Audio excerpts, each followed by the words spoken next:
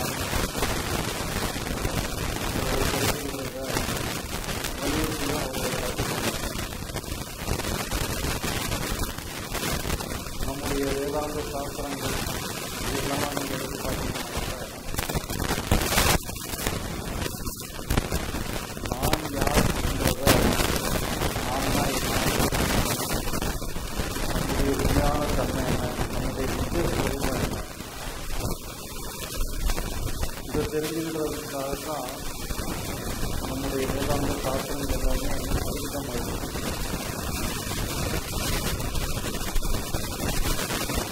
நாம் யாருங்கிறது தெரிஞ்சுக்கிறது அது ஒரு முக்கியமானது. நாம வந்து தெளிவாக இருக்கிறோம் ஒருத்தர் எதிர்க்கிறாரு நமக்கு எதிராக ஒருத்தர் அவரை பார்த்து நாம வந்து நீங்க யாரு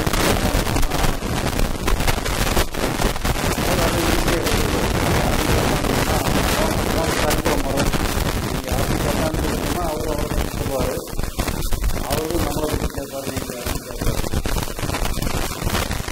அவருக்கு சொல்லியிருக்காங்க நான் யாருன்னு அவர் கேட்டா என்ன சொல்லுவாரு?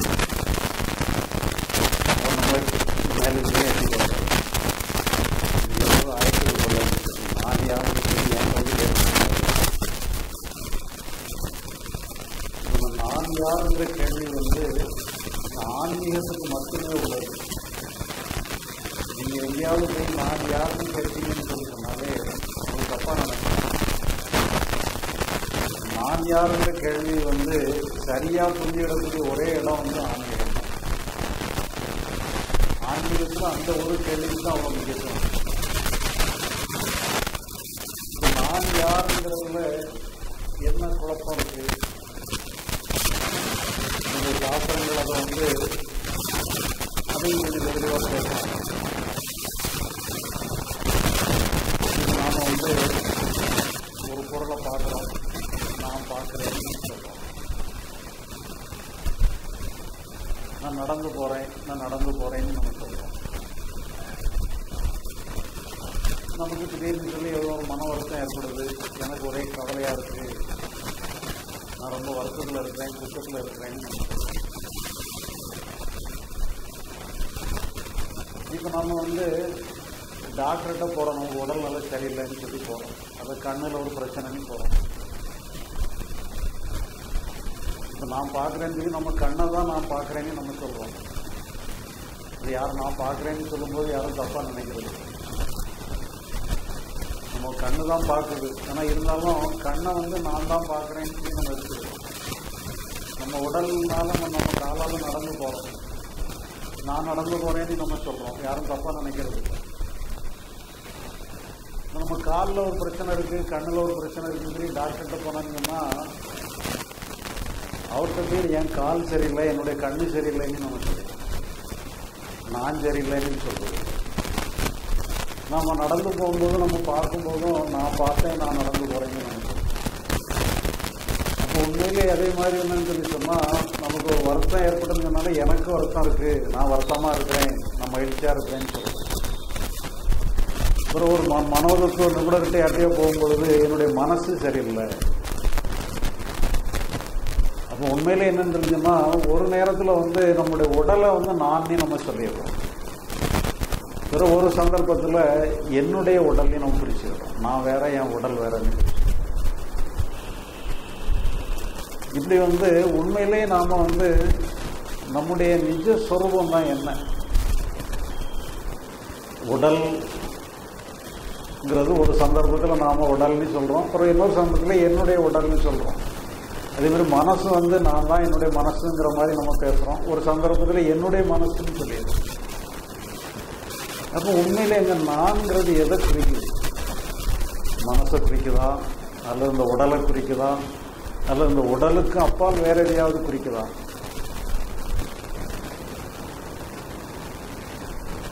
இப்போ நாம் வந்து நான் இரவுல தூங்கிறோம். தூங்கிக்கிட்டு இருக்கும்போது நமக்கு ஒரு கனவு வருது. கனவுல வந்து நமக்கு ஒரு நல்ல ஒரு சம்பவம் நடக்கிற மாதிரி நம்ம கனவு காண்றோம். நமக்கு நல்ல நிகழ்ச்சிகள்லாம் நடக்குது. நம்ம விரும்புகிற மாதிரி நிகழ்ச்சியெல்லாம் நடக்குதுங்கிற மாதிரி நினைக்கும் போது நம்ம கனவுல ரொம்ப மகிழ்ச்சியாக இருக்கும்.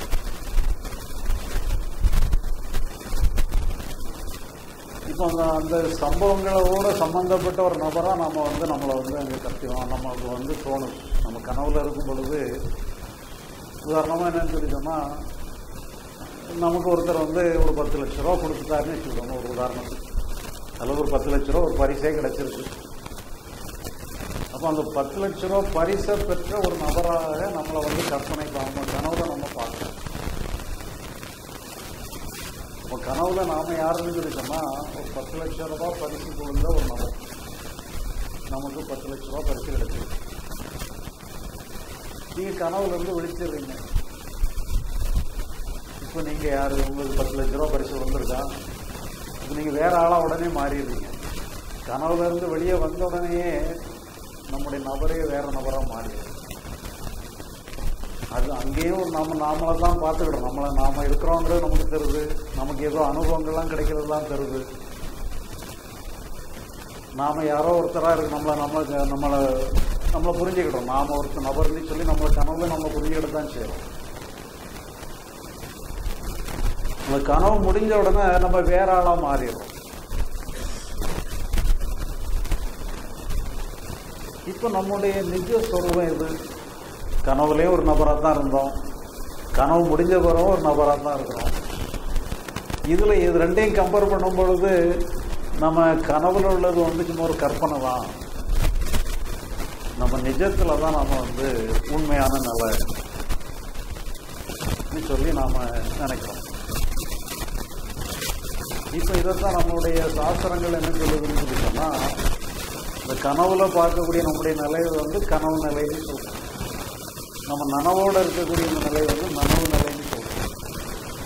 இதுக்கு அடுத்தாப்புல இன்னொரு நிலையை சொல்லுது அதுக்கு வந்து துரிய நிலைன்ட்டு பேர் கொடுக்குறாங்க. கனவு நிலை நனவு நிலை துரிய நிலைன்னு சொல்லி மூணாவது ஒரு பேர் கொடுக்குறாங்க. அந்த துரிய நிலைன்னு சொல்லி சொன்னா அதுதான் நம்முடைய ஆன்ம சொரூபம் உள்ள நிலை. அதுதான் நம்முடைய நிஜ நிலைங்கிறது தான் துரிய நிலைன்னு சொல்லி இப்போ நாம் வந்து கனவுல இருக்கிறது வந்து கனவுல இருக்கும்போது நம்ம ரொம்ப நிஜமாக தெரியுது. நாம் இருக்கிறதுல எந்த எந்த டவுட்டுமே நமக்கு ஏற்படாது. நாம் இருக்கிறது ரொம்ப நிஜமாகவே தெரியும். இப்போ சிலருக்கு வந்து கனவுல சில விசித்திரமான கனவுகள்லாம் கூட வரும்.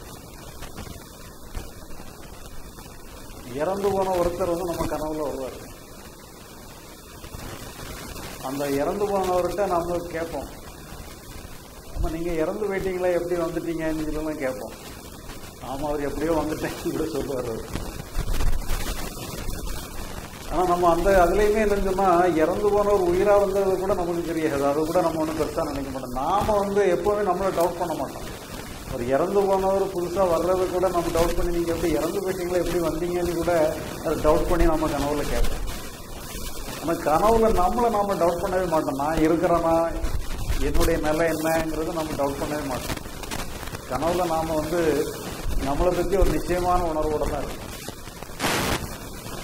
ஆனால் அந்த கனவு முடிஞ்ச உடனே என்ன ஆகுதுன்னு சொன்னால் அந்த கனவுல நாம் என்ன ஸ்டேட்டில் இருந்தோம் அந்த ஸ்டேட் அப்படியே போயிடும். அதுக்கப்புறம் தான் கனவு வந்து கனவாக போயிடும். அப்போ நம்ம நனவு நிலைக்கு வந்த உடனே அந்த கனவு நிலை கனவாக போகும்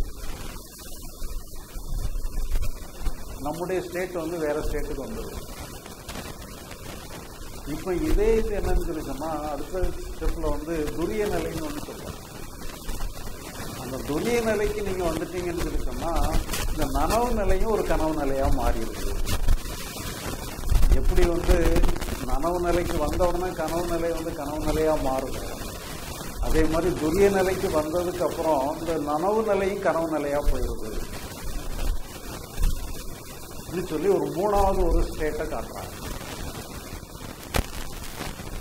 இப்போ இந்த மூணாவது ஸ்டேட்டை தான் என்ன சொல்றாங்கன்னா ஆன்மஸ்வரூபம். அதான் நம்முடைய நிஜஸ்வரூபம் ஆன்மஸ்வரூபம். நீங்க ஆன்மஸ்வரூபத்தில் இருக்கும்போது தான் உங்களுடைய நிலை வந்து துரிய நிலையில இருக்குது. இப்போ தான் வந்து என்ன இருக்குன்னா ஆன்மா தான் நம்முடைய நிஜஸ்வரூபமாக இருக்குது அதுதான் சத்து ஆனந்தமா மாதிரி மாதிரிலாம் அதுக்கு விளக்கெல்லாம் ரமண மகர்ஷிகிட்ட நிறைய பேர் அவங்களுடைய பிரச்சனைகள் எல்லாம் சொல்கிறாங்க எங்களுக்கு வாழ்க்கையில் ரொம்ப பிரச்சனையாக இருக்குது நிம்மதியே இல்லை. ஏதாவது ஒரு மனத்துயரம் பிரச்சனைகள் இருக்குது நம்ம சொந்த- சொந்த பந்தங்களில் பிரச்சனை இருக்குது நம்ம தொடர்பு உள்ள தொழில்களில் பிரச்சனை இருக்குது இப்போ எத்தனையோ விதமான பிரச்சனைகளில் மாட்டி நிம்மதியே இல்லாமல் இருக்கிறோம். இந்த நிம்மதியாக இருக்கிறது ஒரு வழி சொல்லுங்கன்னு சொல்லி அவர்கிட்ட கேட்குறேன் அப்போ அவர் என்ன சொல்கிறாரு யார யார் எதை கேட்டாலும் அவர் ஒரே பதில் தான் சொல்கிறார் நீங்கள் உங்களை வந்து உடல்னு நினச்சிக்கிடுறீங்க உடல்னு நீங்கள் உங்களை நீங்கள் உடல் நீட்டு எடுக்கிற வரைக்கும் உடல் சம்பந்தப்பட்ட பிரச்சனைகள் உங்களுக்கு வரத்தான் செய்யும். அதே மாதிரி நீங்கள் வந்து உங்களை மனசையும் நீட்டு எடுத்துக்கிறீங்க. மனசு நீட்டு நீங்கள் எடுத்துக்கிட்ட வரைக்கும் மனசு சம்பந்தப்பட்ட பிரச்சனைகள்லாம் உங்களுக்கு வரத்தான் செய்யும். உங்களுடைய நிஜஸ்வரூபம் வந்து உடலோ மனசோ கிடையாது. உங்களுடைய நிஜஸ்வரூபம் வந்து ஆன்மஸ்வரூபம் நீங்கள் உங்களை வந்து ஆன்மஸ்வரூபம் நீங்கள் கண்டுபிடிச்சிக்கணும். ஆன்மான்னு சொல்லி புரிஞ்சு ஆன்ம சாட்சாத்காரம் அடையணும். நீங்களும் ஆன்ம சாட்சாத்காரம் அடைஞ்சாதான் எல்லா பிரச்சனைகளையும் ஏன்னா ஆன்மாவுக்கு பிரச்சனையே கிடையாது. அந்த பிரச்சனை இல்லாத பகுதிக்கு நீங்கள் வந்து உங்களுடைய நிஜஸ்வரூபமே இந்த ஆன்மஸ்வரூபம் தான்ங்கிறத நீங்கள் புரிஞ்சுக்கிட்டீங்கன்னு சொன்னால் ஏன்னா ஆன்மாவுக்கு பிரச்சனையே கிடையாது. உங்களுடைய நிஜஸ்வரூபமும் பிரச்சனை இல்லாத சொரூபம் தான் ஆனால் நீங்கள் வந்து கற்பனையில் வந்து நீங்கள் கனவு காண்ற மாதிரி கண்டுகிட்டு இருக்கீங்க ஒருத்தன் கனவுல வந்து ஒரு கஷ்டப்படுற மாதிரி கண்டான்னு சொன்னா அது உண்மையான பிரச்சனையா அது? கனவுல வந்து பத்து லட்ச ரூபா இருபது லட்ச ரூபா கூட கடன் வாங்கியிருக்கோம். அது உண்மையான கடனா அது? அது ஏதோ ஒரு கற்பனை அது. அதனால அந்த கடன் கனவுல வாங்கின கடனெல்லாம் போய் அடைக்கணும்னு எல்லாம் அவசியம் அதனால நீங்க வந்து என்னன்னு சொன்னா உங்களுக்கு மனோ ரீதியாகவும் உடல் ரீதியாகவும் உங்களை நீங்க பாவிச்சுக்கிட்டு நீங்க தேவையில்லாத குழப்பத்திலையும் தேவையில்லாத பிரச்சனை அப்போ உங்களுடைய நிஜ ஸ்வரூபம் வந்து ஆன்மஸ்வரூபம்னு சொல்லி நீங்கள் புரிஞ்சுக்கிட்டான்னு சொல்லி உங்களுடைய பிரச்சனைகள்லாம் சால்வ் ஆகிடும் அப்படின்னு சொல்லி சொல்கிறாங்க இப்போ இதே தான் என்னன்னு சொல்லிட்டோம்னா ரமணர் என்ன சொல்கிறாரோ இதே தான் சாஸ்திரங்களும் சொல்லுது. ஆன்மா தான் அவனுடைய நிஜ ஸ்வரூபம் நீ ஆன்மாவை தெரிஞ்சுக்கிட்டா பிரச்சனையே இல்லை. நம்முடைய திருவள்ளுவரை எடுத்துட்டோம்னு சொல்லி அவர் என்ன அவர் இதே தான் சொல்கிறார் தனக்கு உவமை இல்லாதான் தாழ் சேர்ந்தார்களால் மனக்கவலை மாற்ற வேண்டும். மனக்கவலை மனசுல கவலையா இருக்கா? இறைவனுடைய அடியை சேரலன்னு சொன்னா கவலையிலிருந்து விடுபடுறதுக்கு வாய்ப்பே இல்லை. அந்த இறைவன் அடி சேர்றதுங்கிறது ஆன்மா தரிசனம் ஆன்மா சாட்சாத்காரத்தையும் இறைவன் தரிசனம் ரெண்டும் ஒன்னா தான் சொல்றாங்க இறைவன் வேற ஆன்மா வேறன்னு பிரிக்கிறது இல்லை ஆன்மாவா ஆன்மா தரிசனத்தோட இருக்கிறதும் இறைவனோட இருக்கிறதும் ஒண்ணுதான். ஆன்மா வேற இறைவன் வேற இல்லை.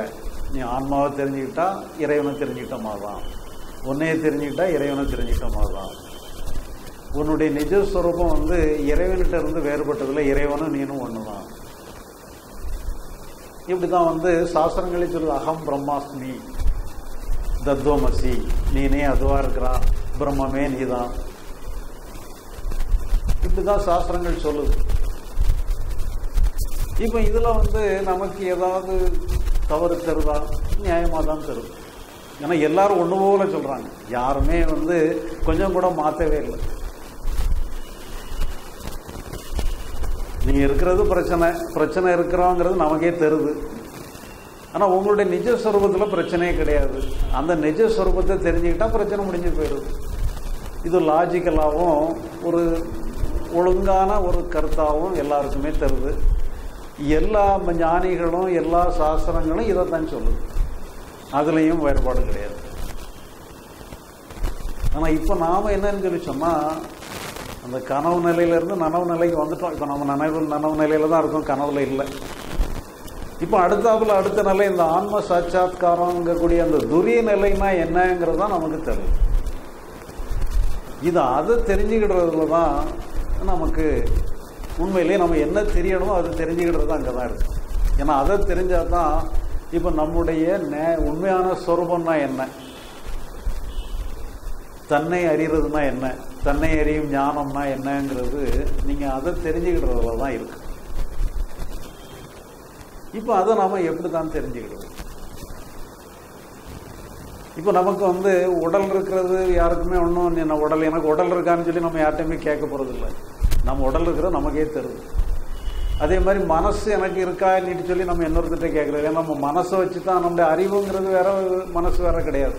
அறிவும் மனசும் ஒன்று தான் அதனால் நம்ம அறிவு வச்சு தான் பேசுகிறோம் அறிவு வச்சு தான் சிந்திக்கிறோம். எனக்கு அறிவு இருக்கா எனக்கு மனசு இருக்கான்னு சொல்லி நம்ம யார்ட்டையும் போய் கேட்குறது இல்லை. யாராவது போய் உனக்கு அறிவு இருக்கான்னு சொல்லி கேட்டால் தான் நம்ம வருத்தப்படுவோம்.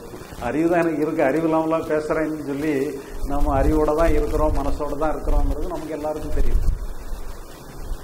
ஆனால் அந்த ஆன்மானிட்டு ஒன்று இருக்குன்னு சொல்லி எல்லாருமே சொல்கிறாங்களே எல்லாருமே மொத்தமாக சொல்கிறாங்களே ஒருத்தர் கூட விடாமல் யாரை பார்த்தாலும் ஆன்மா ஆன்மான்னு சொல்லி சொல்கிறாங்களே உண்மையிலே அந்த ஆன்மான்னா என்ன? நம்ம சாஸ்திரங்கள் தான் இந்த ஆன்மாவை பற்றி வலியுறுத்தி சொல்லு விவரித்து சொல்லுது. சத்து சித்து ஆனந்தமாக இருக்குது அதுக்கு பிறப்பும் கிடையாது இறப்பும் கிடையாது. அதை வந்து நீரால் நினைக்க முடியாது நெருப்பால் எரிக்க முடியாது. சரி இப்படி ஒரு இதுதான் நம்முடைய நிஜ ஸ்வரூபம் உண்மையிலேயே நம்முடைய நிஜ ஸ்வரூபம் நமக்கு நம்முடைய நிஜ ஸ்வரூபம் அதுவாக இருந்துன்னு சொல்லி சொன்னால் நிஜஸ்வரூபம் தானே நமக்கு நல்லா தெரியணும். பொய்யான சுரபமாக நமக்கு தெரியணும். எப்படி வந்து நம்ம கனவுல இருந்து நம்ம நிஜ சுரூபத்துக்கு வந்த உடனே பழிச்சுன்னு நமக்கு தெரிஞ்சிருது இது யாருமே சொல்லி நான் நனவுக்கு வந்துட்டியா? கனவுல தான் இருக்கியான்னு சொல்லி நம்ம யாரும் சொல்ல வேண்டியதில்லை. உடனே நமக்கு புரிஞ்சிடும் நம்ம கனவுல இருந்து நினைவுக்கு வந்துட்டோங்கிறது தெள்ள தெளிவாக தெரிஞ்சு போயிடும். இப்போ இந்த மாதிரி நம்முடைய நிஜஸ்வரூபமே ஆன்மஸ்வரூபம் தான் சொல்லி சொன்னால் இது படிச்சுன்னு தெரியத்தானே செய்யணும்? ஏன்னா அது பொய்யா இருந்தனா கூட நம்ம வந்து தேடி பிடிச்சு கண்டுபிடிச்சு முயற்சி பண்ணி ஆராய்ச்சி பண்ணி கண்டுபிடிக்கலாம். அதுதான் நம்முடைய நிஜஸ்வரூபம்னு சொல்லி சொன்னால் அது ஏன் தெரியாமல் இருக்கு? அதுதானே படிச்சுன்னு நமக்கு தெரியணும். ஏன்னா நமக்கு தெரியல. நம்ம ஆன்மஸ்வரூபம் தானா நம்முடைய நிலை வந்து அந்த அந்த துரிய நிலை தானாங்கிறது நமக்கு தெரியல. அது தெரியாதனால தான் என்ன பண்ணுறோன்னு சொன்னால் அப்படி ஒரு நிலை இருக்குதா? ஆன்மஸ்வரூபம் இருக்குதா? பிரம்மஸ்வரூபம் இருக்குதான்னு சொல்லி நம்ம கேள்வியெல்லாம் கேட்குறோம் விசாரணை எல்லாம் பண்ணுறோம் இப்போ நம்ம வந்து இந்த சாஸ்திரங்கள்கிட்டே நம்ம கேட்குறோன்னு வச்சுக்கோங்க. ஐயா அந்த ஆன்மாவை எப்படி தான் தெரிஞ்சுக்கிடுறது? எனக்கு வந்து உடல் இருக்கிறது தெரியுது மனசு இருக்கிறது தெரியுது அந்த ஆன்மா இருக்கிறதே தெரிய மாட்டாங்குதே. அது எப்படி தெரிஞ்சுக்கிடுறது? சொல்லி அந்த சாஸ்திரங்கள்கிட்டே நம்ம கேட்குறோம் அந்த சாஸ்திரங்கள்கிட்ட கேட்டான்னு சொன்னால் சாஸ்திரங்கள் வந்து பதில் சொல்லுது. ஏன்னா நமக்கு வந்து எதையாவது நம்ம தெரிஞ்சுக்கிடுறோம்னா எப்படி தெரிஞ்சுக்கிடுறோம்? இப்போ இப்போ நீங்கள் இருக்கிறீங்க நான் பார்க்குறேன். இது நம்ம கண்களால் பார்க்குறேன். அதே மாதிரி நான் பேசுகிறத உங்களுக்கு கேட்குது நீங்கள் காதால் கேட்குறீங்க இப்படி வந்து நம்முடைய புலன் பொறிகளை வச்சு நம்ம தெரிஞ்சுக்கிட்டத வந்து பிரத்யட்சமாக தெரிஞ்சுக்கிட்டதுன்னு சொல்கிறோம் அட்சம்னு சொல்லி சொன்னால் நம்முடைய பொறி புலன்களை அட்சம்னுட்டு பேர் கொடுக்குறாங்க பிரத்யட்சமாக தெரிகிறதுன்னு சொன்னால் நம்முடைய பொறி புலன்களாக நேருக்கு நேராக தெரிஞ்சுக்கிட்டுறது தான் பிரத்யட்சமாக தெரிகிறதுன்னு சொல்கிறாங்க இப்போ இதெல்லாம் வந்து நான் உங்களை பார்க்குறேன் என்னைய பார்க்குறீங்கன்னு சொன்னால் நேருக்கு நேராக நம்ம பிரத்யட்சமாக பார்க்குறோம். இப்படி வந்து ஆன்மாவை பார்க்க முடியுமா? புலன்களாலேயோ பொறி புலன்களாலோ ஆன்மாவை பார்க்க முடியாதுன்னு சொல்லிடுறாங்க. ஏன்னா நமக்கு ஆன்மாவை பற்றி தெரியல. அதனால தான் நம்ம சாஸ்திரங்கள்ட்டே கேட்குறோம். சரி ஆன்மாவை எப்படி தான் தெரிஞ்சுக்கிடுறது? ஏன்னா நம்மகிட்ட இருக்கிறது பொறிப்புலன்கள் தான் இருக்குது அதை வச்சு தான் நம்ம கம்யூனிகேட் பண்ணுறோம் ஒருத்தரோட ஒருத்தர் தொடர்பு கொள்கிறா இருந்தால் பொறிப்புலன்களை வச்சு தான் தொடர்பு கொள்கிறோம் அவங்கள்ட்ட கேட்டோன்னு சொல்லுங்கள் பொறிப்புலன்களால் ஆன்மாவை பார்க்க முடியாதுன்னு சொல்லிடுறாங்க சரி அப்போ அறிவால் அறிஞ்சிட முடியுமா? மனசால் அறிய முடியுமா? அறிவால் அறிஞ்சிட முடியுமா? மனசாலையும் ஆன்மாவை அறிய முடியாது. நம்முடைய அறிவாலையும் அறிய முடியாது மனசால அறிய முடியாது நம்முடைய பொறிப்புலன்களாலே அறிய முடியாது. இப்போ நமக்கு வந்து நம்முடைய இருக்கிறது இவ்வளவுதான். வேற ஏதாவது நம்மகிட்ட இருந்துச்சுன்னா அதை வச்சு நம்ம அறிஞ்சு பார்க்கலாம் நம்முடைய இருக்கிறதே வந்து பொறிப்புலன்கள் இருக்கு மனசு இருக்கு. நம்ம எதையாவது அறிஞ்சோம்னு சொன்னால் மனசை வச்சு அறிகிறோம் இப்போ நமக்கு வந்து ஒரு இன்ப துன்பம் ஏற்படும் சொன்னால் மனசால தெரிஞ்சுக்கிட்டோம். நமக்கு இன்பம் ஏற்படுது துன்பம் ஏற்படுதுன்னு தெரிஞ்சுக்கிறோம் பொறி புலன்களை வச்சு என்ன பண்ணணும்னா ஒருத்தர் இருக்கிறாரு ஒருத்தர் நடக்கிறாரு ஒருத்தர் பேசுகிறாருங்கிறதெல்லாம் நம்ம கேட்டு தெரிஞ்சுக்கணும் குளிராக இருக்குது வெப்பமா இருக்குது இதெல்லாம் நம்ம வந்து பொறி புலன்களால் தெரிஞ்சுக்கணும் இப்போ நம்முடைய தெரிஞ்சுக்கிறது எல்லாமே இப்படிதான் நடக்கும் இதை தவிர நம்மகிட்ட வேறு எந்த கருவிகளாவது இருக்குதான்னு சொன்னால் வேறு எந்த கருவியுமே இல்லை. மனசு பொறிப்புலன்களை தவிர வேறு எந்த கருவியுமே நம்மகிட்ட இல்லை. அப்போ நம்ம வந்து எப்படி தான் ஆன்மாவை தெரிஞ்சுக்கிறோம் ஏன்னா நம்ம எப்படித்தான் இப்போ இதை பொறிப்புலங்களால தெரிய முடியுமானா தெரிய முடியாதுன்னு மனசால தெரிய முடியுமா மனசால தெரிய முடியாது. சிறப்பு இந்த சாஸ்திரங்கள்ட்டே கேட்டான்னு சொன்னால் சரி அப்ப எப்படிதான் தெரிஞ்சுக்கிறது ஐயா ஆன்மாவை அதுக்கு ஒரு வழி சொல்லுங்க. அப்ப சாஸ்திரம் வந்து அதுக்கு ஒரு வழி சொல்லுது. நீ ஆன்மாவை கொண்டு ஆன்மாவை அறிந்து கொள்ள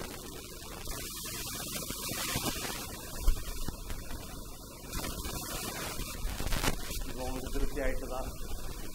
ஆன்மாவை கொண்டு ஆன்மாவை புரிஞ்சுக்க ஆன்மாவை தெரிஞ்சுக்க.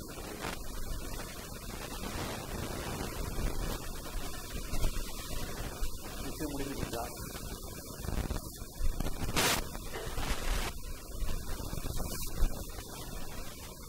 இதுல வந்து நம்ம கிராமங்களில் ஒரு வேடிக்கையாக ஒன்று சொல்லுவாங்க. கொக்கை எப்படி பிடிக்கிறதுன்னு சொல்லிட்டு. கொக்கை பிடிக்கிறது கஷ்டமே கிடையாது. ரொம்ப சுலபமாக கொக்கை பிடிச்சிடலாம். என்ன பண்ணணும்னு சொல்லி கொஞ்சம் வெண்ணெய் எடுத்துடுங்க. இந்த வெண்ணெய் எடுத்து கொக்குடைய தலையில் வைங்க. வெண்ணெய் உருகி கொக்குடைய கண்ணில் விழுந்து கண்ணை மறைச்சி கண்ணை மூடிக்கணும். அந்த நேரத்தில் நீங்கள் கொக்கை பிடிச்சி வரும். கொக்கு தலையில் நம்ம வெண்ணெய் எடுத்து வைக்கும்போது கொக்கை பிடிச்சிக்கலாம்.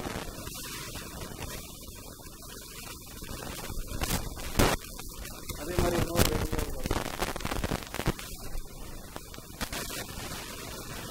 நம்ம வீட்டில் ஒருத்தர் காணாமல் போயிடுறாங்க பத்து நாளாச்சு பதினஞ்சு நாளாச்சு ஒரு போனவர் திரும்பி வரல கடைசியில் போய் நம்ம வந்து சரி நம்ம போலீஸ் ஸ்டேஷனில் போய் புகார் பண்ணுவோம் அப்படின்னு சொல்லி போலீஸ் ஸ்டேஷனில் புகார் பண்ணுவோம் அப்போ அந்த இன்ஸ்பெக்டர் என்ன பண்ணுறாரு திரும்ப அக்கறையாக நம்முடைய விஷயத்தை கேட்குறேன் சரி நான் கண்டுபிடிச்சு தந்துடுறேன். காணாமல் போனார் இல்லையா? அவர் கடைசியாக எந்த ஊருக்கு போனார்னு யாருக்காவது ஒரே ஒருத்தருக்கு தெரியும் யான்னு யாருன்னு கேட்கல. அவர் தான் காணாமல் போனவர்.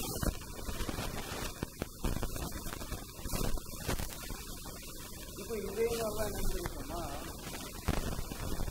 ஆன்மாவை தெரிஞ்சுக்கிட்டது தான் நம்முடைய பிரச்சனை எல்லாம் தீர்க்கிறதே நீ ஆன்மாவை தெரிஞ்சுட்டா பிரச்சனை எல்லாம் தீர்க்கிறதுன்னு சொல்றாங்க. சரி ரொம்ப சந்தோஷமாயிருது அப்படியேப்பா நமக்கு பிரச்சனை எல்லாம் தீர்றதுக்கு ஒரு வழி கிடைச்சிருக்குது ஆன்மாவை நம்ம தெரிஞ்சுக்கிறோம். ஆன்மாவை எப்படி தெரிஞ்சுக்கிறதுன்னு கேட்டாங்கன்னா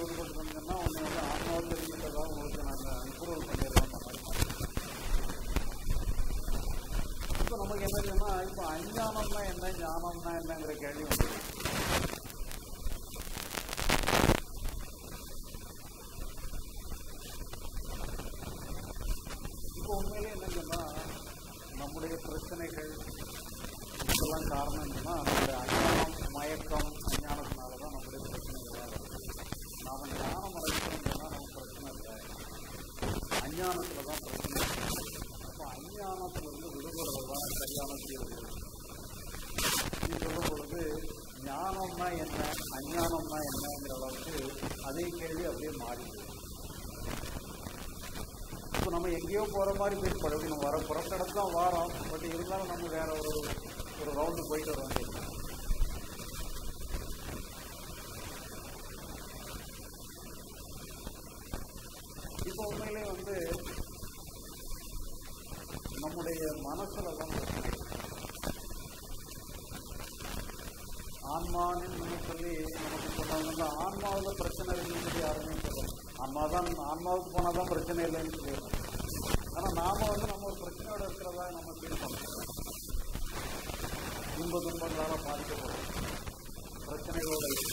மூலமா எங்க இருக்குன்னா இதெல்லாம் ஆன்மாவில் கிடையாது. அப்ப இது எங்க இருக்குன்னு சொல்லிச்சோம்னா நம்முடைய மனசுல தான் வரும். அப்ப அந்த மனசுல இருக்கக்கூடிய பிரச்சனைகள்னா என்ன? இப்ப மனசுடைய செயல்பாடுலாம் என்ன? மனசுல வந்து இருக்கக்கூடிய விஞ்ஞானங்கிறது என்ன? அப்ப இந்த மனசுல வந்து எப்பவுமே அது வந்து பிரச்சனையோட தான் இருக்கும். அப்போ அந்த மனசில் வந்து ஞானம் அடைகிறதுனா என்ன? இந்த நம்ம எடுக்க முடியாது இதில் தான் நினைக்கிறீங்கன்னா மனசில் உள்ள ஞானம் அடைஞ்சினதில் தான் நாம் வந்து முக்தி அடைகிறோம்னு இப்போ நம்முடைய மனசில் என்ன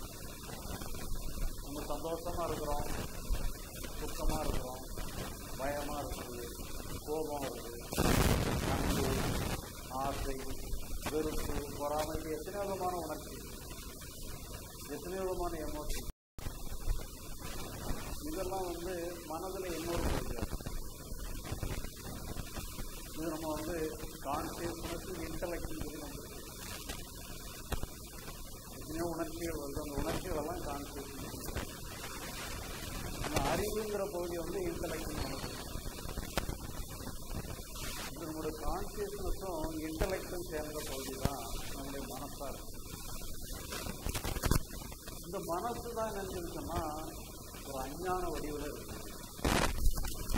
நமக்கு வந்து எது எது எப்படி இருக்குன்னு தெரிய முடியாத ஒரு அஞ்ஞான அம்சத்தோடு கேட்கும்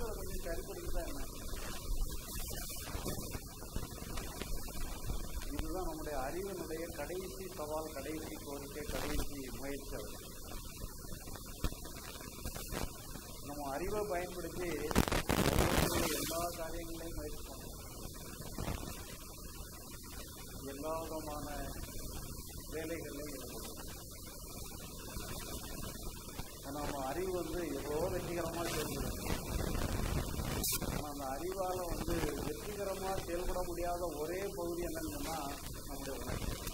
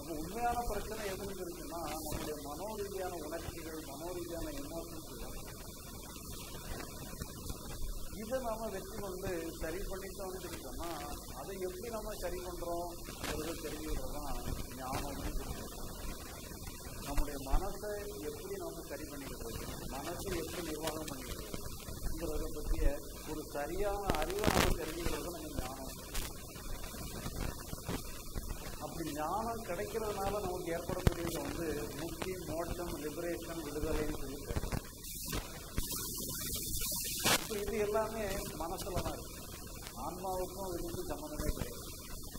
முக்திக்கும் மோட்சத்துக்கும் ஆன்மாவுக்கும் சம்மந்தம் கிடையாது. ஆன்மா எப்பவும் பிரச்சனை இல்லாமல் எங்கே பிரச்சனை இருக்குங்கன்னா நம்முடைய மனசில் தான் நம்முடைய உணர்ச்சிகளில் தான் அந்த உணர்ச்சிகளை வந்து நம்ம எப்படி கண்ட்ரோலுக்கு எடுத்து எப்படி அதை சமன்படுத்துவது ஏன்னா உணர்ச்சிகள் சமன்படுத்துறதுன்னா பிரச்சனை இப்போ இது இந்த சவாலை நம்ம மேற்கொள்றது தான் இதை நம்ம எதிர்கொள்றது தான் எப்படிங்கிறது தான் இப்போ இதுக்கு வந்து ஒரு முன்னோடியாக நம்ம எடுத்துட்டோம்னு சொல்லிட்டோம்னா புத்தரை தான் நம்ம எடுத்துக்கணும். புத்தர் வந்து இதே பிரச்சனையை கையில் எடுக்கிறார். அவர் ஏதோ ஒரு சந்தர்ப்பத்தில் துக்கத்தில் இருந்து விடுபடணும் உலகமே துக்கமயமாக இருக்குது துக்கத்திலிருந்து விடுபடுறதுக்கு நம்ம ஒரு வழியை கண்டுபிடிக்கணும்னு சொல்லி துக்கத்திலிருந்து விடுபடுறது எவ்வாறுங்கிறத கண்டுபிடிக்கிறதுக்காக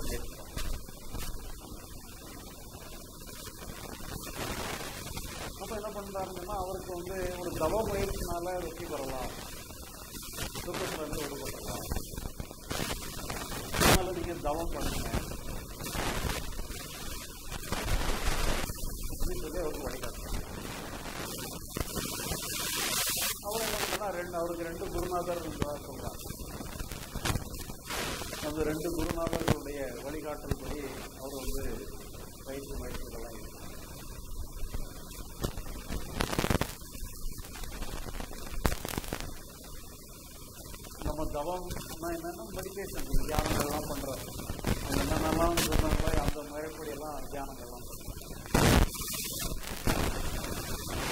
தியானங்கள்னு சொல்லி சொன்னால் அது ஒரு தியான அனுபவம் தான் நமக்கு ஏற்படும் தியானங்கள் பண்ணும்பொழுது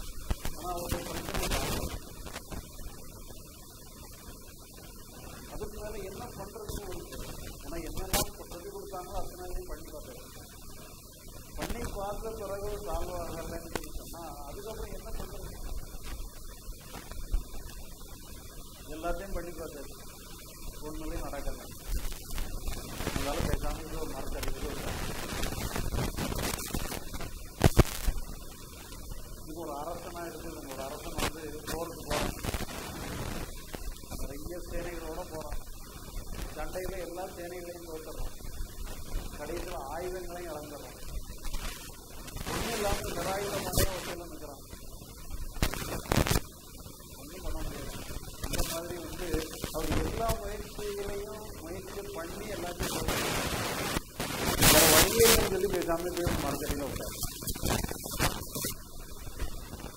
அந்த நிலையில் என்ன இருந்துச்சுன்னா அவர் என்ன தீர்வு எதிர்பார்த்தாரோ அந்த தீர்வு வந்து அவருக்கு தானாகும்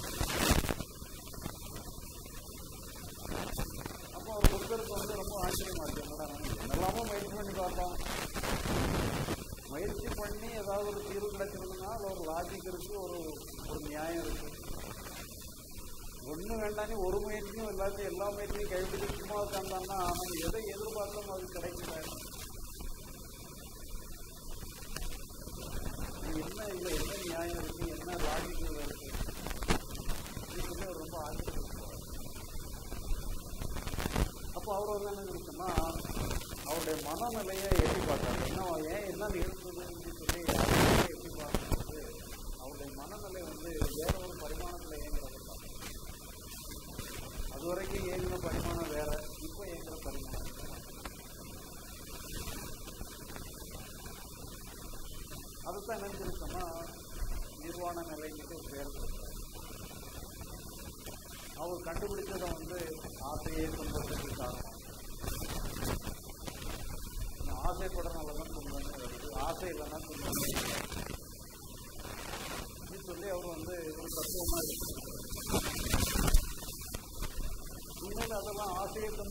കാരണം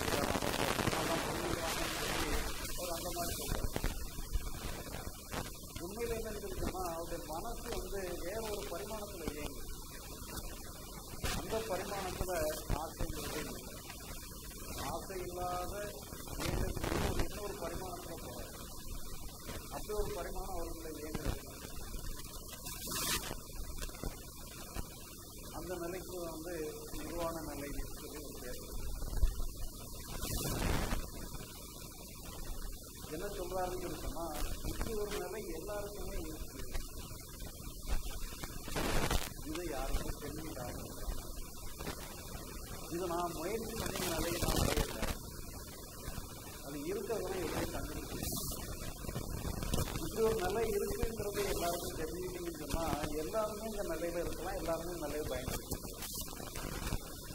இது நம்முடைய முயற்சினால வரக்கூடியது. நம்முடைய சொந்த நிலை நம்முடைய இயற்கையான நிலையாக இருக்கலாம்.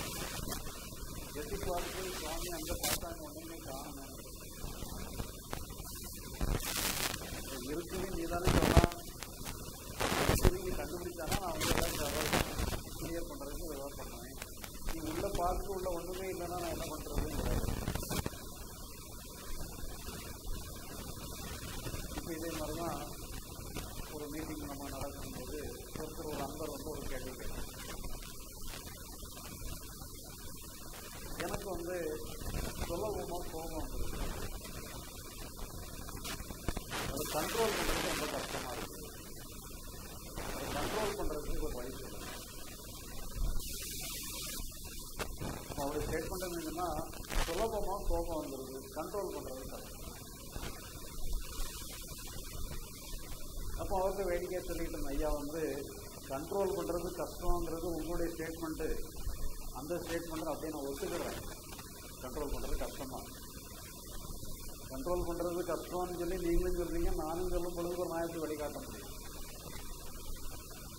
ரெண்டு பேரும் ஒரே ஸ்டேஜில் தான் இருக்கிறோம் கண்ட்ரோல் பண்ணுறது கஷ்டம்னு சொல்லி நீங்களும் சொல்றீங்க நானும் ஏற்றுக்கிட்டேன் கண்ட்ரோல் பண்ணுறது கஷ்டம் ஆனால் நீங்கள் சொன்னது ரெண்டு ஸ்டேட்மெண்ட் இருக்கு கோவப்படுறது சொல்ல பண்ணிட்டு ஒரு ஸ்டேட்மெண்ட் சொன்னீங்க அதில் மட்டும் எனக்கு கொஞ்சம் டவுட் இருக்குது அதை மட்டும் கொஞ்சம் கிளியர் பண்ணுங்க கோவப்படுறது சுலபமாக இருந்தது நீங்கள் காலையில இருந்து சாயங்காலம் வரைக்கும் நீ கோபமாக இருக்கீங்க ஆனால் சுலபமாக இது தான் கஷ்டம். சரி நான் உங்களை செய்ய சொல்ல முடியாது. சுலபமான விஷயமா இருந்தால் நீங்கள் செஞ்சு காட்டலாம் இல்லையா? நீ காலையில இருந்து சாயங்காலம் வரைக்கும் கோபமாக இருந்துட்டா.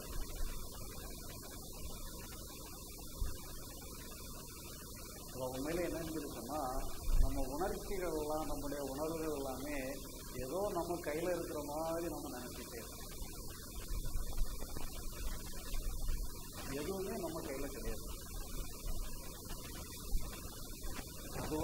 அதுவா அதுவாக ஒரு எத்தனையோ உணர்ச்சிகள் இருக்கு. எத்தனையோ விதமான சிந்தனைகள் இருக்கு. இதனுடைய ஆயுள் எவ்வளவு நேரம்?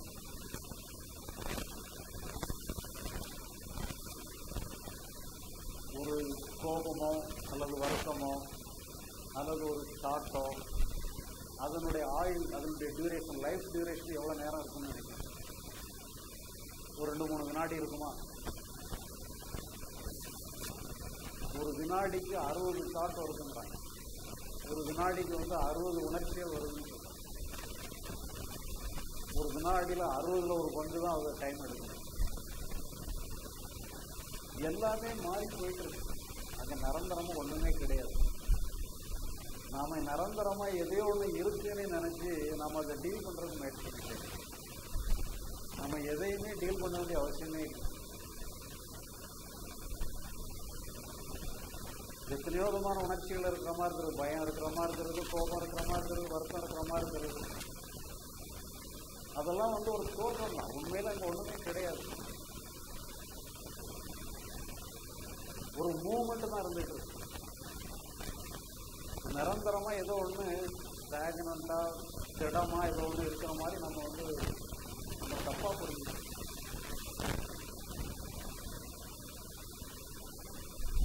இப்போ நீங்க மழை காலத்துல நம்ம இடி மின்னலெல்லாம் பார்த்தோம்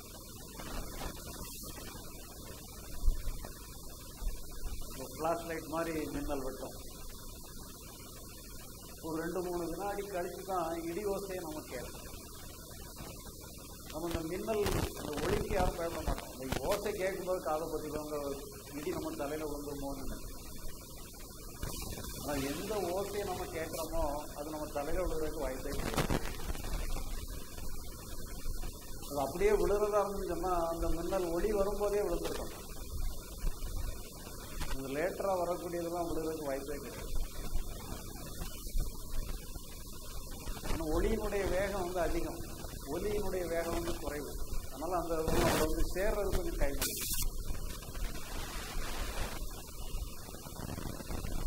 இப்போ நம்ம வந்து ராத்திரி நம்ம ஆகாயத்துல பார்த்தோம்னு சொல்லி சொன்னா நிறைய நட்சத்திரங்களா இருக்கும் இது இந்த நட்சத்திரம் இது நட்சத்திரம்னு நம்ம பேரெல்லாம் கூட சொல்றோம்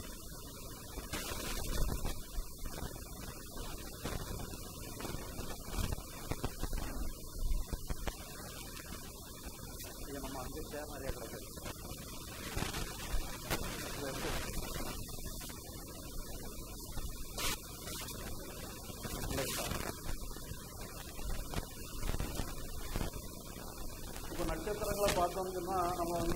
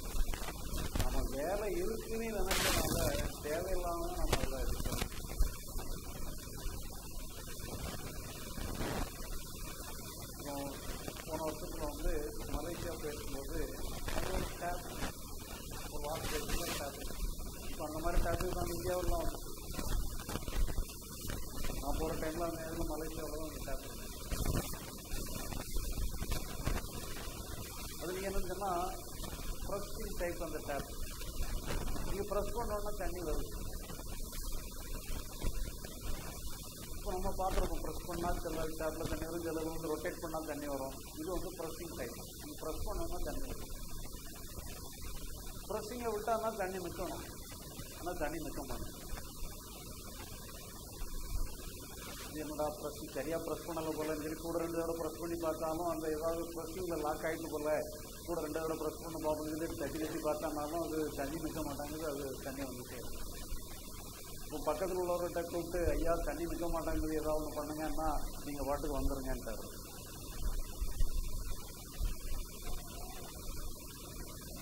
சரிதானிட்டு பழையபடி நானும் சரி அவர் என்ன பொறுப்பு சொல்கிறேன் நாமளாக பொறுப்பாக செய்வோம்னு சொல்லி கூட ரெண்டு தடவை தட்டி பார்த்தாலும் தண்ணி நிற்க மாட்டேன் சரி நம்ம அவரே பின்பற்றுவோம்னு சொல்லி நானும் பாட்டுக்கு போயிட்டேன்.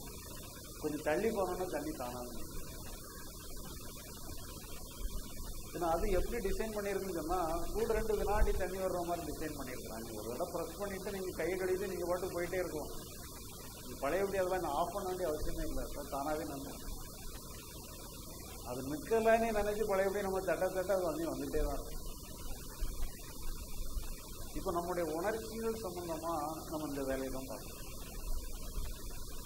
நமக்கு எங்க ஏதோ ஒரு வேலை இருக்குன்னு நினைச்சு நம்ம கையில எடுத்து ஒரு தேவையில்லாத பிரச்சனையை பண்ணி தானா வந்து தானா மறையக்கூடிய உணர்ச்சிகளுக்கெல்லாம் அதை உயிர் கொடுக்கணும். அது ரினியூவல் பண்ணிடும் இப்போ நம்ம வந்து ஒரு ஆறு எடுத்துக்கணும். ஒரு ஆறு ஒன்று ஓடிட்டு இருக்கு. தண்ணி வந்து ஃபாஸ்ட்டாக ஓடுது. நீங்கள் ஓடக்கூடிய தண்ணிக்கு குறுக்க கையை விடுறீங்க. நில்லுன்னு சொல்லி கை விடுறீங்க. இல்லைன்னா ஓடுன்னு சொல்லி கை விடுறீங்க. நீங்கள் என்ன சொல்லி கை விட்டாலும் சரி நீங்கள் தண்ணிக்கு குறுக்க கை விட்டீங்கன்னு சொன்னால் தண்ணியை சுற்றி உங்கள் கையை சுற்றி தண்ணி சொல்லலாம் சரி தண்ணி வந்து கிளாக் வைஸில் சுற்றுது நாம் அதை வந்து ஆன்டி கிளாக் வைஸில் சுற்றணும்னு சொன்னால் தண்ணியுடைய சுழற்சி நின்றோம் அப்படின்னு சொல்லி நம்ம தண்ணி ஆன்டி கிளாக் வைஸில் சுற்றினாலும் சுழற்சி நிற்காது. நீங்கள் கையை எடுத்தீங்கன்னு சொன்னால் அந்த சுழல் தானாக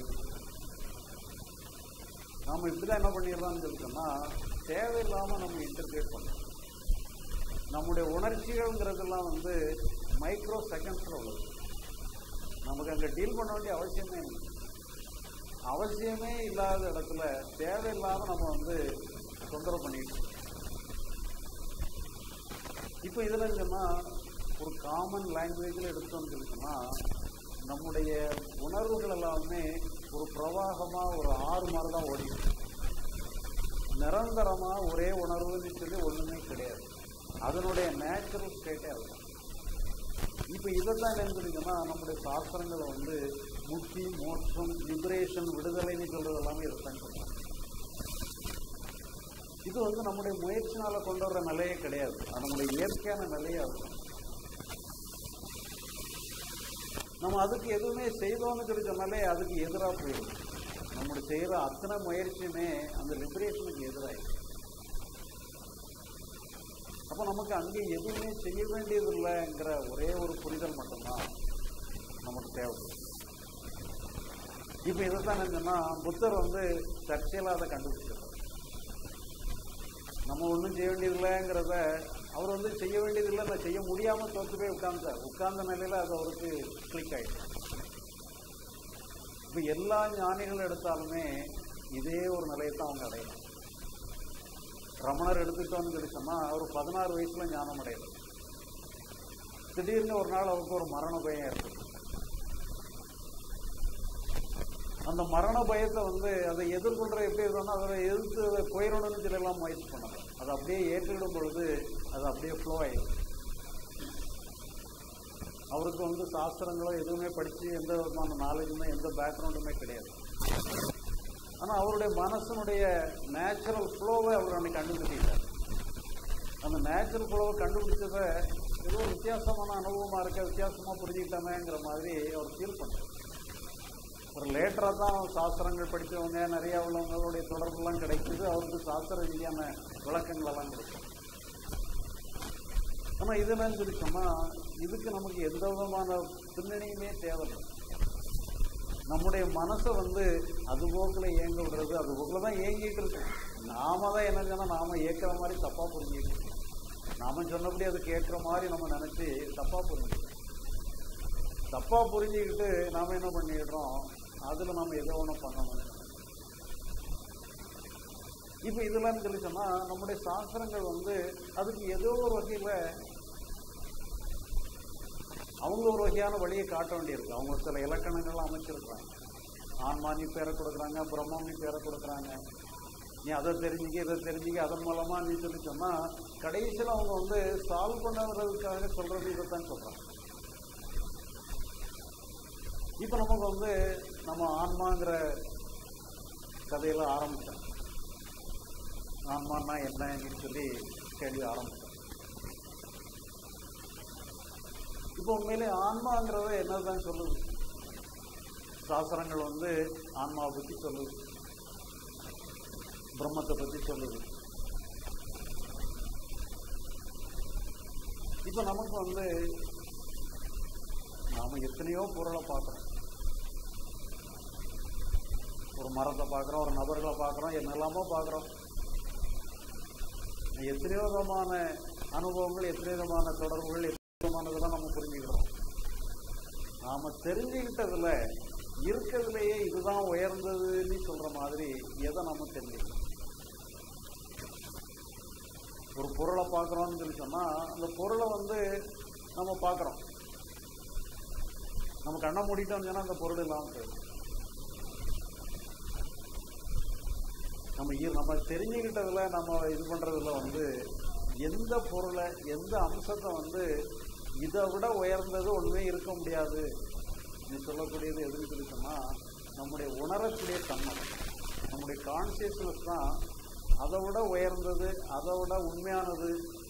ஏன்னா இதுக்கு வந்து யாருமே நிரூபித்து காட்ட வேண்டியது நம்ம கான்சியஸ்னஸ் இருக்கா உணர்வு இருக்கான்னு சொல்லி யாரும் நிரூபித்து காட்ட முடியாது அந்த உணரக்கூடிய தன்மை தான் வந்து இருக்கிறதுலே உயர்ந்தது. இப்போ இதைத்தான் என்ன சொல்லி அவங்களுக்கும் ஆன்மான்னு சொல்லி பேர் பிரம்மம்னு சொல்லி பேர் இப்போ அந்த உணரக்கூடிய தன்மை எப்படி இருக்கு? இப்போ நமக்கு எல்லாரும் உணரக்கூடிய தன்மை தான் இருக்குது. உணரக்கூடிய தன்மை இருந்ததுனால நம்மளோட பிரச்சனை எல்லாம் சால்வ் ஆயிட்டுதான் உணரக்கூடிய தன்மை நம்ம தெரிஞ்சுக்கிட்டோங்கிறனால பிரச்சனை எல்லாம் சால்வ் ஆயிட்டுதான். அப்போ அந்த உணரக்கூடிய தன்மையில் என்னதுன்னா உணரக்கூடிய தன்மையில பிரச்சனை இல்லை அந்த எக்ஸ்பிரஷனில் தான் பிரச்சனை அப்போ அந்த எக்ஸ்பிரஷனை வந்து நம்ம எப்படி எதிர்கொள்றதுங்கிறதுக்கு நாம் இதை வந்து ஒரு இதாக பயன்படுத்திக்கலாம் ஏன்னா எக்ஸ்பிரஷனுக்கு ஆதாரமானதான் உண்மையானது. எக்ஸ்பிரஷன்லாம் வந்து போகக்கூடியது அப்போ அந்த வந்து போகக்கூடியது வந்து அது வந்து போகக்கூடிய தற்காலிகமானதுதான்ங்கிறது தெரியும் பொழுது அதை நம்ம ரிலை பண்ண மாட்டோம்.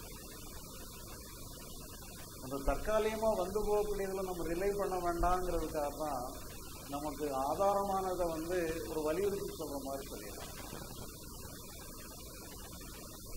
இப்போ நமக்கு வந்து அதை வந்து நம்ம அந்த ஆன்மாவை தெரிஞ்சுக்கிடுறதுன்னு சொல்லி அதை அதனளவு நம்ம தெரிஞ்சிடவே முடியும் தெரிஞ்சிட வேண்டிய அவசியமும் கிடையாது.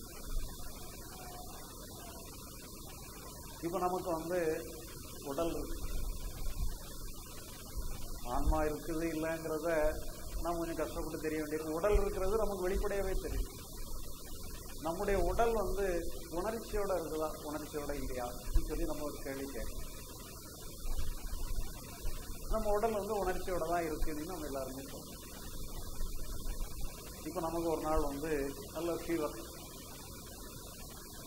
நூற்றி ரெண்டு நூற்றி மூணுன்னு சொல்லி நல்ல ஹை ஃபீவராக இருக்கு. உச்சில உள்ளங்கால் வரைக்கும் ஃபீவரிஷா ஒரே பெயின்ஃபுல்லா இருக்கு. நம்ம பாடி பெயின்ஃபுல்லாக இருக்கிறத நல்லா ஃபீல் பண்ணுறோம் இப்போ நமக்கு காய்ச்சல் எல்லாம் போயிடும் ஏதோ மருந்து சாப்பிட்றோம் ஏதோ ஒன்று பண்ணி காய்ச்சல் எல்லாம் குணப்படுத்தும். இப்போ நம்ம உடல் இருக்கிறது நமக்கு தெரியுமா?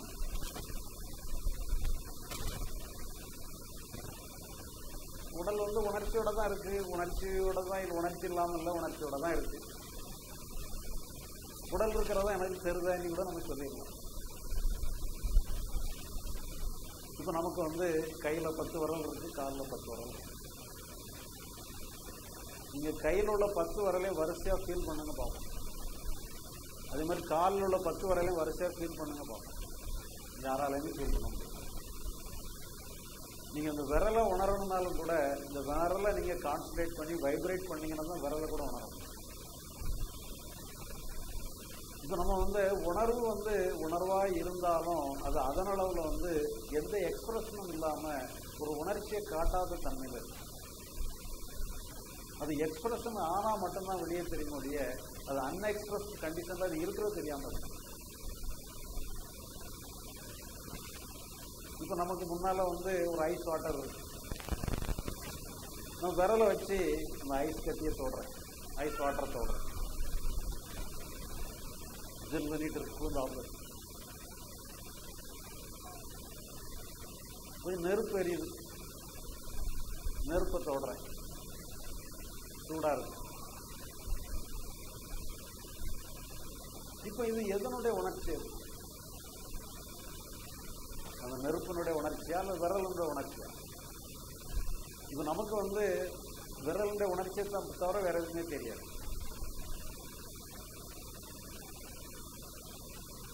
இப்போ நம்முடைய விரல் வந்து நம்ம வந்து விரலினுடைய உணர்ச்சியினுடைய தன்மை என்னன்னு சொல்லி யாராவது நம்மகிட்ட கேட்குறாங்கன்னு வச்சுக்கோங்க. விரலுடைய உணர்ச்சி வந்து சூடாக இருக்குதுன்னு சொன்னான்னா சரியா இருக்குமா? குளிராக இருக்குதுன்னு சொன்னா சரியா இருக்குமா? அது எல்லாமே தற்காலிகமாக வந்துட்டு போக முடியும் சூடும் வரும் குளிர்ச்சியும் வரும் எல்லாம் தற்காலிகமாக வந்துட்டு போக முடியும் ஆனால் அதுக்கு ஆதாரமா இருக்கக்கூடிய தன்மை தான் அதில் உண்மையான தன்மை. அந்த உண்மையான தன்மை வந்து அதுக்குன்னு சொல்லி ஒரு தன்மையே கிடையாது. அது எல்லா தன்மையாகவும் வாழக்கூடிய ஒரு ஒரு ஸ்கோப் உள்ள ஒரு தன்மையா இருக்கு. அதுக்குன்னு சொல்லி ஒரு தனித்தன்மையே கிடையாது. இதைத்தான் வந்து நினைஞ்சிருக்குன்னா நம்முடைய ஆன்மஸ்வரூபம் சொல்லி சத் சித் ஆனந்தம்னு சொல்லி பிரிக்கணும். ஆனந்தங்கிறது கூட சிலவங்க நினைச்சிருக்கோம்னா ஒரு ஆனந்தமான அம்சம் உண்மையிலே ஆனந்தம்ங்கிறது அனந்தம்ங்கிற அர்த்தத்தில் தான் சொல்றேன் ஆனந்தம்னா இன்ஃபினிட்டுங்கிற அர்த்தத்தில் சொல்றேன் ஆனந்தம்ங்கிறதெல்லாம் வந்து நம்முடைய ஆனந்தமய கோஷத்தில் இருக்கக்கூடிய அனுபவங்கள் தானுடைய அந்த அது ஆன்மாவுக்கு ஆனந்தங்களே கிடைக்கும் சம்மந்தமே கிடைக்கும். ஆனந்தம்ங்கிற அனுபவம் வந்தாலுமே கூட அதனுடைய ஒரு எக்ஸ்பிரஷன் தான் அந்த அதனுடைய சோர்ஸில் வந்து அது எந்த விதமான உணர்வுமே இல்லாமல் இருக்கும் எல்லாத்துக்கும் ஆதாரமான ஒரு சத்தம் சித்தம்சமாக இருக்குதுன்னா அறிவு அதான் கான்சியஸ்னஸ்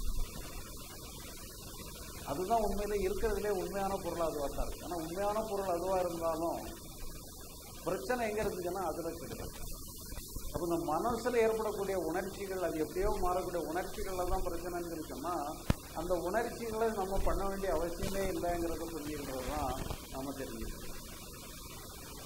அப்போ இந்த உணர்ச்சிகளை சம்மந்தமாக நம்ம எதுவுமே பண்ண வேண்டிய இல்லைங்கிறத நம்ம புரிஞ்சுக்கிட்டோம்னு வந்துருக்கோம்னா உண்மையிலேயே நம்ம எதை தெரியணுமோ அதை தெரிஞ்சுக்கணும்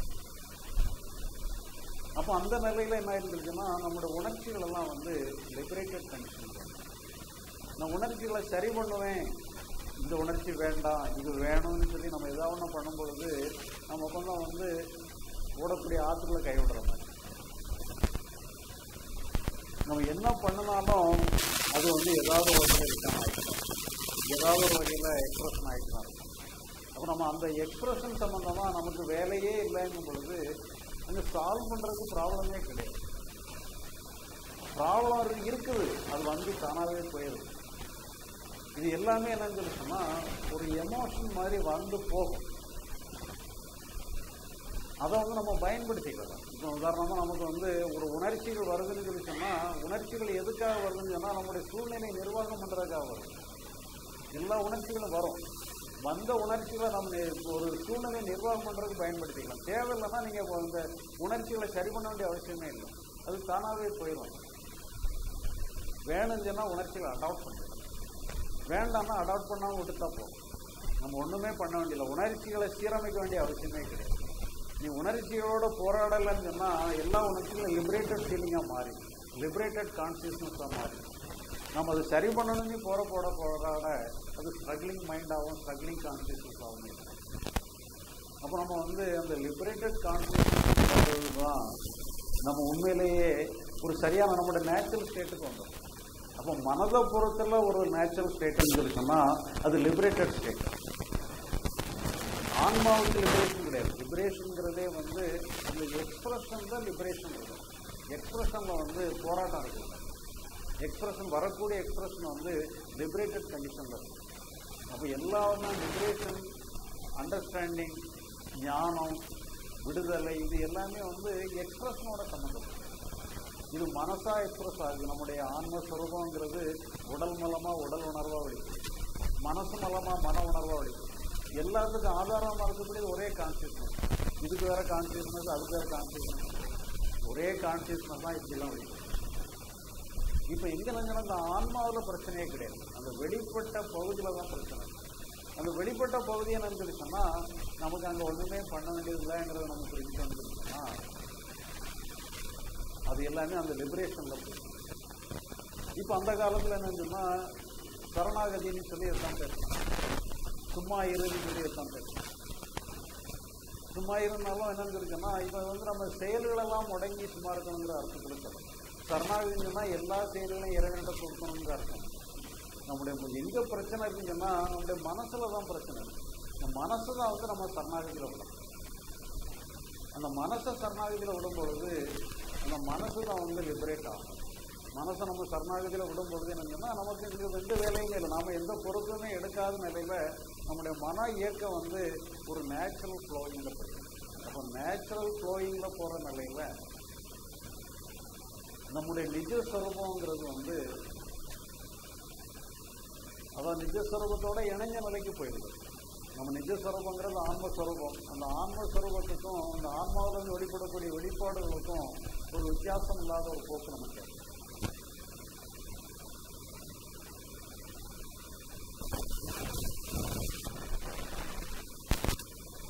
நாம் ஒரு சின்ன பிரேக் எடுத்துக்கிட்டு அதுக்கப்புறம் நம்ம ஒரு கேள்வி ஏன்னா இதில் வந்து ஒரு பேசிக்கல் ஸ்ட்ரக்சரை நான் வந்து சொல்லியிருக்கிறேன்.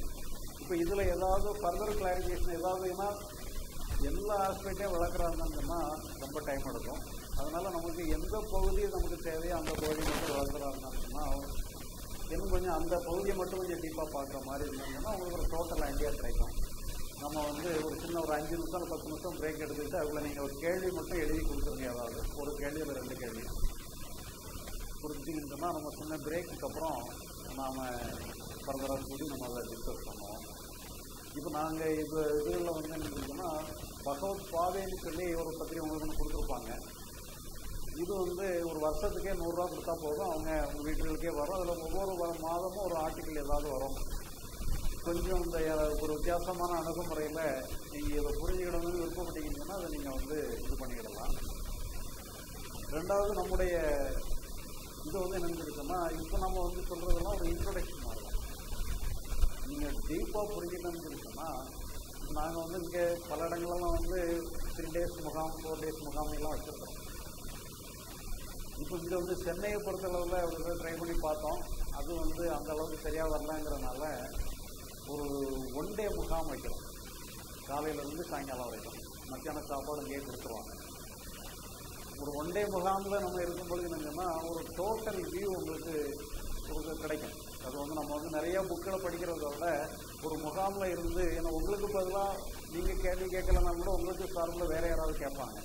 ஒரு இப்போ இதில் அதில் என்னங்கன்னா முகாமில் வந்து நாம் பேசுகிறது வந்து பாதி தான் இருக்கும் டிஸ்கஷன் தான் நிறையா இருக்கும். அதனால் வந்து ஒரு ஃபுல் டே முகாம் வந்து இருக்கும் பொழுது ஒரு நல்ல ஒரு இது கிடைக்கும். அதனால் இப்போ அடுத்த இருபத்தி அடுத்த ஞாயிற்றுக்கிழமை வச்சுருக்குறாங்க நீங்கள் விருப்பப்பட்டவங்க அதில் பேரை பதிவு பண்ணிக்கோங்க.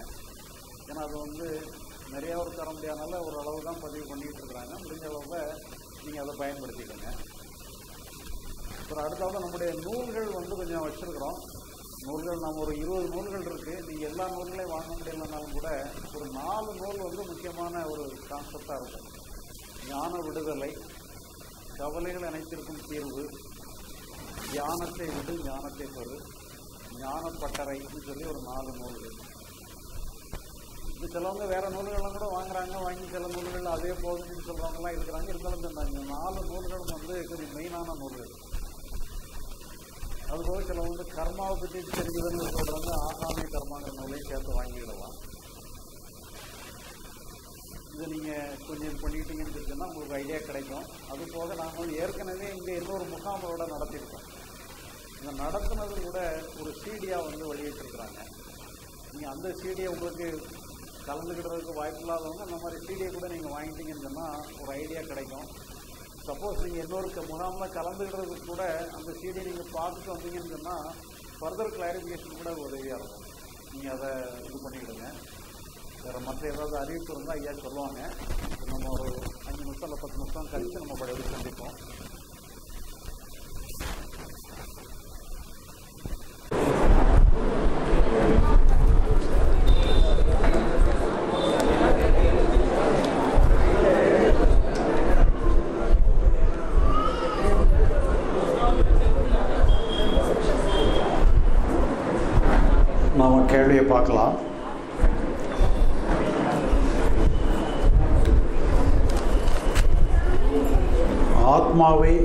எப்படி உணர்ந்து விசாரம் செய்வது? தயவுசெய்து உணர்த்தவும். இப்போ நாம் வந்து ஆன்மான்னா என்னங்கிறது என்னன்னு சொல்லி சொன்னால் ஒரு சுத்தமான உணர்வு தான் இப்போ அந்த உணர்வுங்கிறது வந்து அந்த உணர்வை தெரிஞ்சுக்கிட்டா நம்ம வேற எதுவும் தெரிய வேண்டியதில்லைங்கிற மாதிரி ஒன்று சொன்னதுனால சில விஷயங்கள் நமக்கு வந்து இது அதை தெரிஞ்சுக்கிட்டதுக்கு ரொம்ப இம்பார்ட்டன்ஸ் கொடுக்குற மாதிரி ஆயிடும் இப்போ இந்த நம்ம கிராமங்களில் ஒரு விடுகதை மாதிரி ஒன்றா சொல்லுவாங்க. ஒருத்தருக்கு வந்து ஏழு மாடுகள் இருக்கு. அதில் ஏழு மாடுன்னு வச்சுட்டாலும் ஏழு குதிரைகள்னு வச்சுக்கிட்டாலும் சொல்லலாம் அவர் வந்து இறக்கும்போது அந்த ஓனருக்கு அந்த உரிமையாளர் வந்து இறக்கும் பொழுது அவருக்கு மூணு குழந்தை மூணு பையங்க இருக்கிறாங்க. அந்த மூணு பேரும் அந்த ஏழு குதிரைகளையும் பிரிச்சுக்கிடணும்னு சொல்லி சொல்கிறாரு எப்படி பிரிச்சுக்கிடணும்னு சொல்லி சொன்னால் பாதி வந்து மூத்தவனுக்கு மூணு பையங்க பாதி வந்து மூத்தவனுக்கு. மூத்தவனுக்கு எவ்வளோ கிடைக்குதோ அதில் பாதி ரெண்டாவதுவனுக்கு. ரெண்டாவது கிடைக்கிறவனுக்கு பாதி மூணாவதுவனுக்கு. இப்போ இந்த ஏழு குதிரையும் வந்து மூணு பேரும் பிரிச்சுக்கணும். அந்த பாதியை வந்து மூத்தவனுக்கு எப்படி பிரித்து கொடுக்கறது? ஏழு குதிரையை பாதியை பிரித்தா எப்படி பிடிக்கும்? மூன்றரை குதிரை வரும்.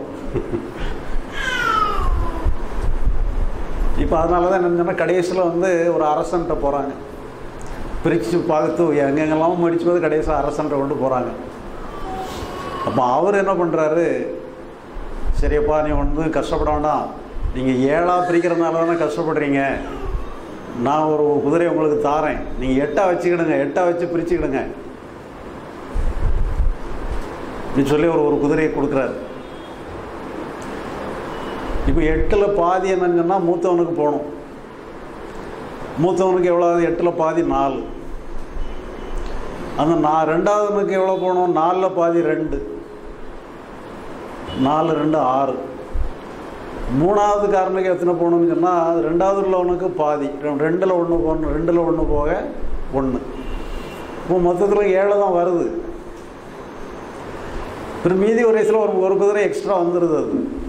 அப்புறம் அரசர் வந்து அந்த அவருக்கு கொடுத்த குதிரையை கூட்டிட்டு போயிடுறாரு. இந்த விஷயம் முடிஞ்சு போச்சுது. ஏழை தான் பிரிக்கிறாங்க. ஆனால் என்னொன்று சேர்த்து ஏழை பிரிச்சுட்டு போயிடுறாங்க இப்போ இதே மாதிரி என்ன சொன்னால் ஆன்மா பிரம்மங்கிற மாதிரி ஆன்மாவை தெரிஞ்சுக்கிடணும் பிரம்மத்தை அறியணுங்கிற மாதிரி ஒன்றை கொண்டு இணைக்கிறாங்க.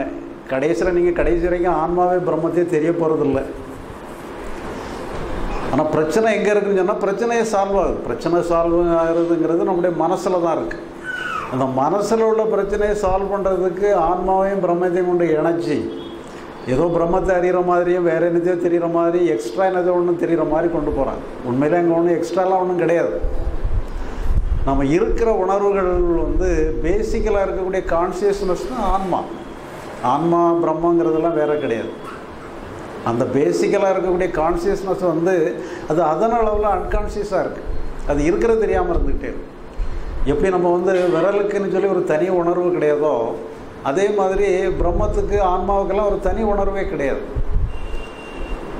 நம்ம விரல் வந்து சூடாகவும் இருக்கும் குளிராகவும் இருக்கும். ஒரு வலியை கொடுக்கும் ஒரு இன்பத்தை கொடுக்கும். அதனால் இந்த உணர்ச்சி தான் அந்த விரலுடைய உணர்ச்சி நீட்டெல்லாம் சொல்ல முடியாது. இந்த உணர்ச்சி தான் ஆன்மாவுடைய உணர்ச்சி நீட்டு சொல்லி எதையுமே சொல்ல முடியாது. ஆனால் எல்லாமே அதுதான். அதில் இருந்து தான் எல்லாமே வருது. ஆனால் அதுக்குன்னு சொல்லி ஒரு தனியாக ஒரு உணர்ச்சின்ட்டு கிடையாது. அது வந்து வெறும் ச- ஒரு சித் மாத்திரம் சத் மாத்திரம்ங்கிற மாதிரி அது வந்து அது அது அதனால் வந்து உணரும் தன்மையோடு இருக்கக்கூடியது அவ்வளோதான் அதில் அதுக்கு வந்து தனியாக நம்ம வந்து இதை விசாரிக்கிறதுனுடைய நோக்கம் என்னன்னு சொல்லி சொன்னால் அதனுடைய எக்ஸ்பிரஷன்லேருந்து விடுபடுறதுடைய நோக்கமாக தான் அதை விசாரிக்கிறது. நம்ம அதை அடைகிறதுங்கிறதே கிடையாது. நாம் ஆன்மாவை அடைஞ்சு ஆன்மாவிலே தங்கியிருக்கிறேன் ஆன்மாவிலே வாசம் செய்கிறேன்னு சொல்கிற அளவுக்குலாம் அங்கே ஒன்றும் கிடையாது. அதனால் இதை நம்ம தெரிஞ்சுக்கிடுறது மூலமாக அதனுடைய எக்ஸ்ப்ரெஷன்லேருந்து நம்ம விடுபட்டுறோம். அப்போ பிரச்சனையான பகுதி என்னன்னு சொன்னால் எக்ஸ்ப்ரெஷன்லேருந்து விடுபடணும். இந்த எக்ஸ்ப்ரெஷனில் தான் பிரச்சனை இருக்குது அப்போ பிரச்சனையிலிருந்து விடுபடுறதுக்கு நம்மளை ஏதோ ஒரு வகையில் இந்த சாஸ்திரங்கள் காட்டுற வழி நம்முடைய ஏதோ ஒரு வகையில் வழியை நடத்தி நம்மளை அந்த இடத்துக்கு கொண்டு போய் சேர்க்கறதுக்காக ஏதோ ஒரு வழி நடத்துகிறாங்க அதனால் இப்போ நம்ம வந்து கடைசியில் அதை தெரிஞ்சுக்கிடுறதுங்கிறது அதை தெரிஞ்சுக்கிடுறது மூலமாக நம்ம எதை தெரியணுமோ அதை தெரிஞ்சுக்கிடுறோம்.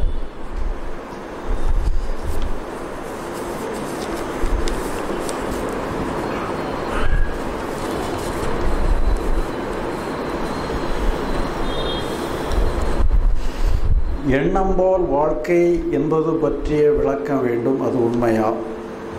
அது அப்படியே இருப்பதுதான் ஆன்மா என்று புரிகிறது. பக்குவம்தான் ஆன்மா என்று என்ற ஒரு சந்தேகம் உள்ளது அது சரியா? இப்போ ஆன்மா வந்து கொஞ்சம் வேக வச்சு பக்குவப்படுத்தணுமா? ஆன்மா எப்பவும் நல்லா தான் இருக்காது ஆன்மாவுக்கு பக்குவமும் கிடையாது பக்குவம் இல்லாத தன்மையும் கிடையாது. ஆன்மாவில் பிரச்சனையே கிடையாது. அதனால் அதில் நம்ம வந்து டீல் பண்ண வேண்டிய அவசியமே இல்லை. எங்கே டீல் பிரச்சனை பிரச்சனை இருக்கா இல்லைன்னா பிரச்சனை இருக்குது எங்கே இருக்குதுன்னு சொன்னால் அதனுடைய வெளிப்பாடுகளில் பிரச்சனையாக இருக்குது அது வந்து மனோ ரீதியாக உணர்வு ரீதியாக வெளிப்படும்போது உணர்ச்சிகள் கான்சியஸ்னஸாக வெளிப்படும் பொழுது அந்த வெளிப்படுற இடத்துல பிரச்சனைகள் இருக்குது இன்பம் இருக்குது துன்பம் இருக்குது அது ஒரு பாகுபாடுகள் இருக்குது அது நம்ம வந்து என்ன பண்ணணுங்கிறது தான் நம்ம என்ன பண்ணிருச்சோம்னா அதை நம்ம அங்கே ஒன்றுமே பண்ண வேண்டியதில்லைங்கிற ஒரு அண்டர்ஸ்டாண்டிங் வரணும்னு நம்ம சொன்னோம். அப்போ அது சம்மந்தமாக எதுவுமே பண்ண வேண்டியதில்லைங்கிற ஒரு அண்டர்ஸ்டாண்டிங் வர்றது வந்து இப்போ அந்த காலத்தில் சரணாகதி மூலமாக வந்திருக்கிறாங்க. சரணாகதியை பயன்படுத்தி எல்லாமே அவன் பார்த்துக்கிடுவான்னு சொல்லி இறைவனுடைய ஒரு வில் வில் ஆஃப் காடுன்னு சொல்லி இறைவனுடைய எண்ணத்தில் இணைக்கிறதுங்கிற மாதிரி எல்லாத்தையும் இறைவன் போக்கில் விட்டுட்டான்னாலும் கூட இதே நல்லதான். இப்போ நாமளே என்னன்னு சொல்லி சொன்னால் அங்கே நம்மளால் முடியாது அங்கே ஒன்றும் செய்ய வேண்டிய அவசியம் இல்லைன்னு தெரிஞ்சிட்டோம்னு சொல்லி சொன்னால் நம்ம முயற்சி பண்ண மாட்டோம். அப்போ முயற்சி பண்ண வேண்டியது இல்லைங்கிறத நம்ம வந்து அறிவுபூர்வமாக புரிஞ்சுக்கின்ற நிலையில் நம்ம முயற்சி அப்படியே நின்று போயிடும் இப்போ அங்கே என்ன சொன்னால் இறைவன் கையில் ஒப்படைக்கிறது மூலமாக நம்ம முயற்சி நிப்பாட்டிக்கிறோம் ஏதோ ஒரு வகையில் அங்கே முயற்சி நிப்பாட்டோம். எங்கே நிப்பாட்டோம்னு சொன்னால் நம்ம செய்கிற செயல்களுக்கு முயற்சி தேவை. ஆனால் நம்ம வந்து இந்த உணர்ச்சிகள் சம்மந்தமாக நம்ம எந்த முயற்சியும் தேவையில்லை. அப்போ முயற்சிகளை பொறுத்தளவு நமக்கு எந்த இதுவுமே தேவையில்லைங்கிற ஒரு அம்சத்தில் நம்மளுடைய முயற்சியெல்லாம் நுப்பாட்டுறதுக்கு ஒன்று சரணாகதியை பயன்படுத்திக்கலாம் இல்லைன்னா நம்ம அறிவை பயன்படுத்திக்கலாம். நம்ம பக்தி வழியில் நம்ம எடுக்கும் பொழுது